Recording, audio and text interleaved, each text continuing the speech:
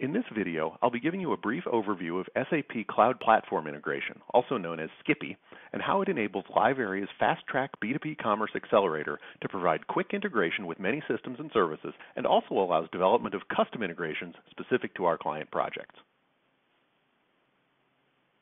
One challenge that's common to every e-commerce project is how do we get that data over to here and get this data over to there? Whether it's importing products, synchronizing digital assets, or integrating customer behavior data with marketing or CRM tools, moving data around is a fact of life. That's where Skippy comes in. Skippy is SAP's platform for building integrations between independent systems, whether that's cloud to cloud or cloud to on-premise. So let's take a quick tour of what Skippy looks like and see how we use it in FastTrack. The first thing we see when we log into our Skippy tenant is a catalog of all the pre-existing integrations that are available either from SAP or from third-party vendors. So based on the requirements for a given project, there may either be a pre-existing integration we can use or a starting point to build something custom. For instance, as I described in a previous video, in FastTrack, we integrate out of the box with Google Analytics to associate user behavior with specific marketing campaigns.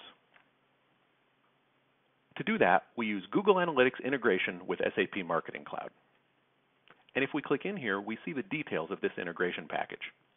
We have a description that tells us what it does at a high level, we have other data about its package ID and so forth, and we see the artifacts that it generates. These are basically the things that this integration can produce.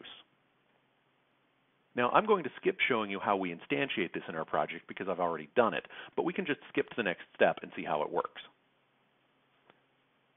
The next step of working with Skippy is the design phase. Here's where we configure the integrations for a project. You can see here that we're using a couple of integrations for the Hearthstone Restaurant Supply demo site. First, let's take a look at the Google Analytics one I mentioned earlier. We can click into this and view its artifacts again. And then let's take a look at the one called Query Analytics Data from Google Analytics.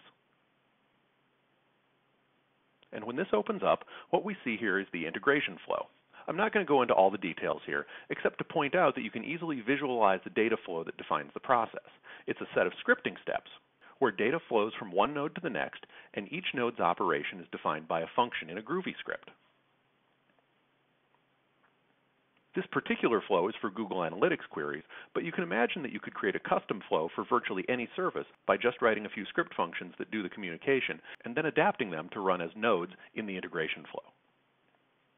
So now let's take a look at a more complicated integration, the one for SAP Commerce with SAP Marketing Cloud. First, we can see that this one has more artifacts. It does more things. Let's look at the integration flow that replicates the product catalog from SAP Commerce into SAP Marketing. Now we immediately notice that this integration flow is quite a bit more complicated than the Google Analytics one. Here we have SAP Commerce.